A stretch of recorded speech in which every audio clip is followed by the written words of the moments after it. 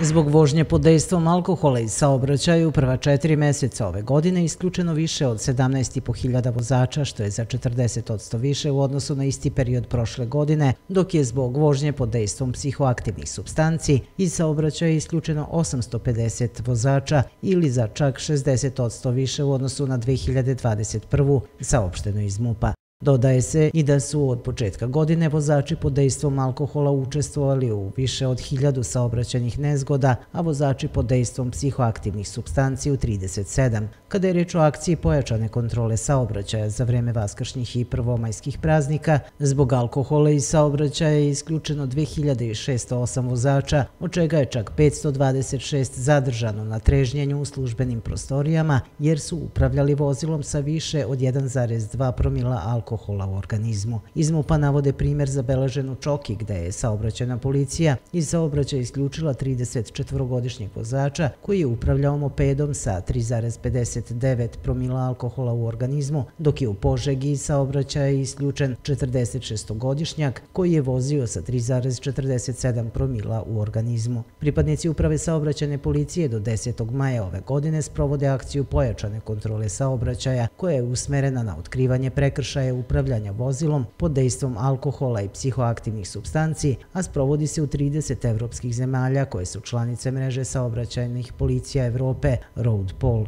Također u sklopu ove, u subotu 7. maja biće realizovana i akcija pod nazivom Alcohol and Drugs Marathon, kada će tokom 24 časa u kontroli saobraćaja neprekidno biti angažovani svi raspoloživi uređaji za otkrivanje prisustva alkohola i psihoaktivnih substanciji.